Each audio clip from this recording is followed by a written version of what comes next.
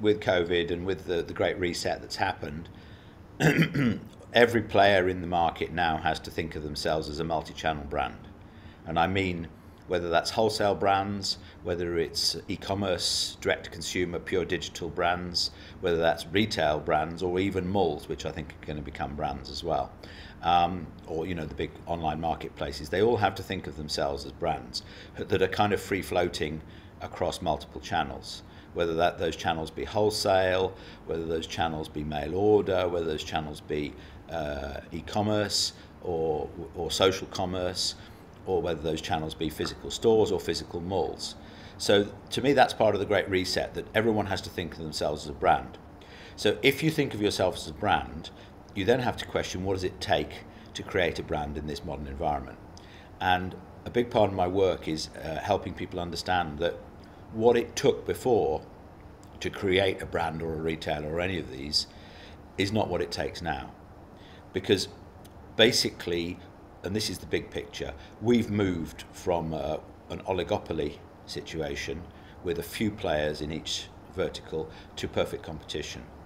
Uh, so if you look at the historical classical brand retail supply chain, it was dominated both at the brand level and the retail level by relatively few players in each geographical market and each uh, uh, product vertical. So think as, as a consumer in 1991, you know, where could you buy things? Well, you could get in your car and drive maybe for 10 miles. So it was all the stores, you know, within 10 miles of you, okay?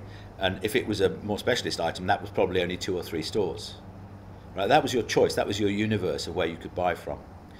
And the stores that controlled those locations, once they'd been built and once you know there was an established retail chain out there, it was very hard for new people to break in because it was very expensive to build stores and develop uh, uh, a, new store group. Um, and if at the branding level of the supply chain, it was the same.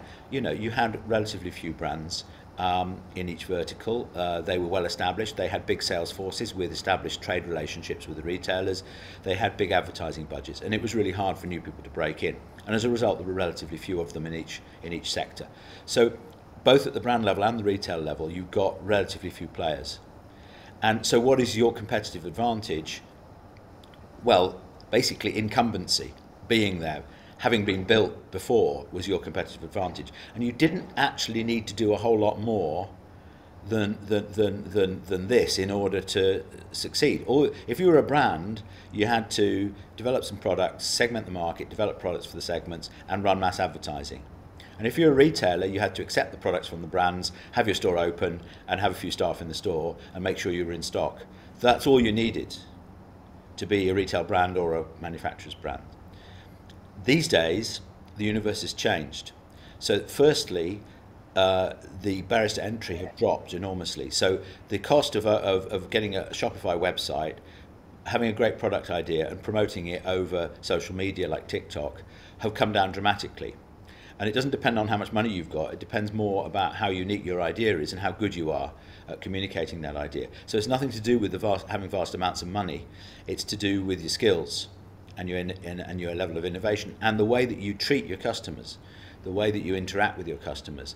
So um, the, the, the barriers to entry have dropped and what we've seen in most verticals and geographies is two things. Firstly, there's been a massive wave of, wave of startups, um, which have been highly innovative and have developed whole new ways of, of branding and, and dealing with their customers and, and, and much more innovative in terms of products. And the second thing we've seen, which is not often recognised, is we've had a massive influx of international brands into, into geographical markets. So, you know, as I say, 20, 30 years ago, you were dealing, if you were in Britain, you were dealing with, you know, a bunch of British brands essentially, uh, maybe some American brands. But now, if you go in, you know, if you go on Google and put any product category in, you're going to get people from all around the world selling to you. You're going to get literally millions of people trying to sell to you. So the, the, the number of players has approached what we call perfect competition because there's almost an infinite number of players uh, competing for that consumer dollar. The other thing that's changed, uh, which is uh, also one of the preconditions for perfect competition, is consumer knowledge. So if you look in 1991, where did consumers get their information about products? Well, a little bit of word of mouth, uh, but people's ability to communicate to each other as peers was very limited. They, they used to say that people used to tell seven. If they had a good experience or a bad experience, they used to tell an average of seven people. So it wasn't very much. Se- secondly, mainly where you got your information from was from the brands and the retailers themselves. It's from their advertising or from store staff or whatever. That's where you got information. So it was hardly objective information. It was uh, very biased information. And if the brand had enough money to tell you that it was great, you probably believed that it was great, even if it wasn't. There was no objective measure of brands. Um, and what we've got now is another element of the internet revolution is what I call com- communications revolution, which is things like social media and, and peer product reviews. So now, where do most people get their information about products? They get it either from people they know, but people have a much bigger universe of who they can communicate with. If you've had a great brand experience, you can now sell, tell 7,000 people on your, on your social media feed, not seven people. And secondly, you, you don't get it from the brands anymore, you get it from peer reviews. So the first thing you do if you want to decide what brand to do is you go on Google or you go on Amazon or whatever you and or you go on Trustpilot and you read the reviews. And those reviews they're not always great. We know that. They're not always and they can be faked or whatever, but they're a whole lot more objective than when it used to be from the manufacturers themselves. And that's what people trust. So consumers' trust in manufacturer messaging has gone down completely, and tr- their trust in their peers has gone up. So that is the communications revolution, and that has changed. Uh, that you know that's changed the dynamic because one of the one of the preconditions for perfect competition is is perfect consumer knowledge, and now the consumer more or less has perfect knowledge of, of all the brands out there. So those those two changes, the drop in the barriers and the rise in consumer knowledge, has has turned it from oligopoly into perfect competition, where the consumer now is faced with millions of brands competing for their business. It's changed the whole balance of power between uh, producers and consumers, because basically 30 years ago the consumer was like a, was like Pavlov Pavlov's dogs. You know, they, they you you know you you you you researched it, you segmented it, you developed products, you've worked out what the consumer's buttons were, emotional buttons, you pressed the buttons with mass advertising, and the consumers obediently turned up in store and took away the products. Now, the consumer is much more powerful than that, much more active, and of course, the web is an interactive medium, and now uh, encouraged by the new brands that are coming in that are being very innovative in this regard, consumers expect a much more interactive relationship with brands. They expect to be listened to, they expect to be much more involved. If they're going to give that dollar to a brand, they want something more than just a transaction. And that's the key.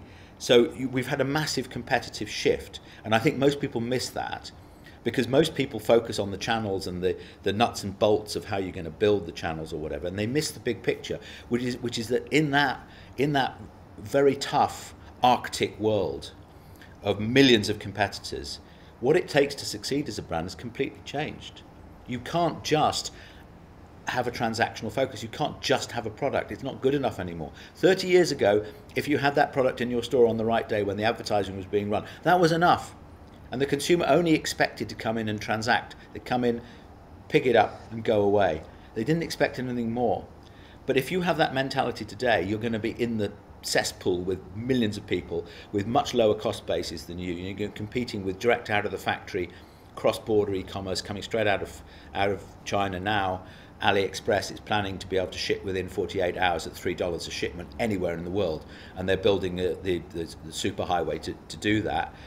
You know, so you you know if you're, you're sitting there in Britain with your high cost base and you're thinking, you know, I'm going to be the low cost producer like I was 30 years ago. You're not. So a, a, a transactional price-led philosophy will get you absolutely nowhere.